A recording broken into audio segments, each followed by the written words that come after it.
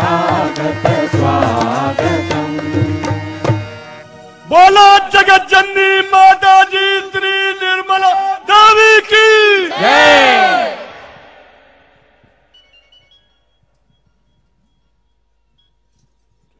बोलो Cersei P Srivastava ji की जय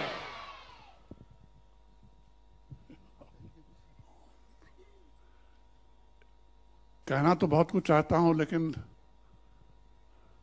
इमोशन बहुत हो गया है। आपकी माता जी आपके पास आई हैं। उन्होंने अपनी सारी ज़िंदगी, पैंतीस साल, इसी में बिताए हैं कि वो दुनिया भर में एक नई मैसेज भेजें।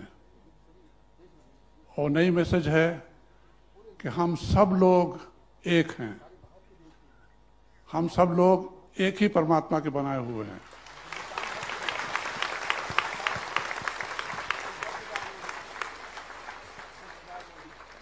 भेदभाव मिटा देना चाहिए।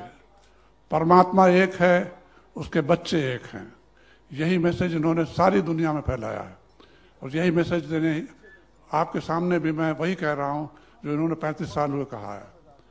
मैं ज़्यादा समय आपका नहीं देना चाहता, सिर्फ़ ये कहना चाहता हूँ कि इस मैसेज को इन्होंने फैलाया है आप तक।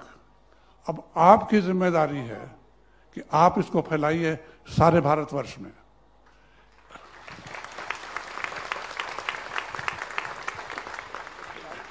इसलिए आपसे प्रार्थना यही है कि आज से प्रण कीजिए, कि सहज योगा बढ़ाएँगे हिंदुस्तान को एक बनाएँगे। यहाँ कोई भेदभाव नहीं है। Thank you